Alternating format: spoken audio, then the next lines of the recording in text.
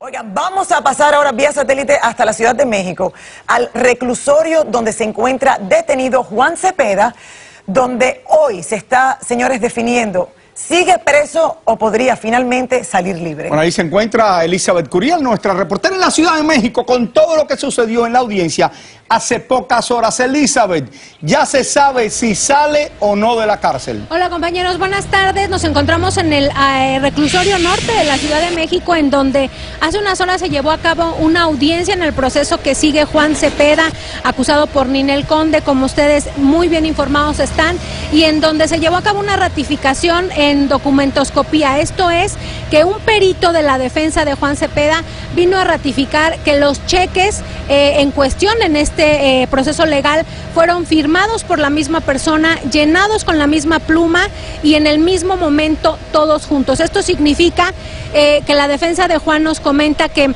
con esto queda por la borda las declaraciones de Ninel donde ella asegura y aseguró en un principio que ella dejó esos cheques firmados en blanco y que los dejó guardados en esa caja fuerte y que posteriormente Juan Cepeda los sustrajo con cerrajero, los llenó poniéndoles las cantidades que ya hemos comentado y los depositó en sus cuentas. También, obviamente, eh, platicamos con el abogado respecto a los rumores de la posible salida de Juan Cepeda que se han venido dando desde hace unas semanas y veamos lo que nos dijo hace unos momentos.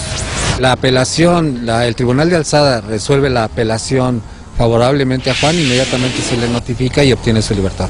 ¿Cuándo sería eso? Nadie puede saberlo. Y eso de que Juan Cepeda haya sido el que ha estado pues comentando y enviando a los medios de comunicación que sale la próxima semana y demás, es adelantarse mucho a los hechos y pudiera ser algo muy delicado porque eh, nadie puede saber la decisión de los magistrados, como les repito, hasta el mismo momento en que ellos no la emitan y se podría tomar a malas interpretaciones, obviamente. Respecto al proceso legal, aunque Ninel haya eh, otorgado el perdón o hayan llegado a un acuerdo, eso no le garantiza su salida y a este proceso le faltan todavía meses, así que eso no lo sabremos hasta que él cruce la puerta de este reclusorio. Es la información por el momento.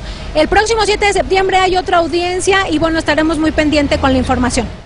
Gracias, Elizabeth. no sale de la prisión todavía Juan Cepeda entonces. Bueno, ya él tiene un historial, como sabemos, y yo creo que esto, Raúl, lo complica algo más a la hora de defenderlo.